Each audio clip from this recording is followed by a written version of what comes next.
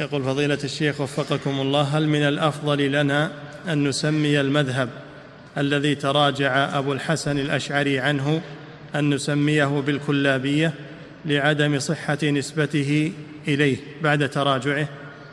هو لما رجع عن الاعتزال أخذ مذهب الكلابية سعيد بن كلاب فلما تاب من ذلك أخذ مذهب أهل السنة. نعم فنقول هذا مذهب الكلابية وليس مذهب أبي الحسن الأشعري الذي استقر عليه أخيرا. نعم.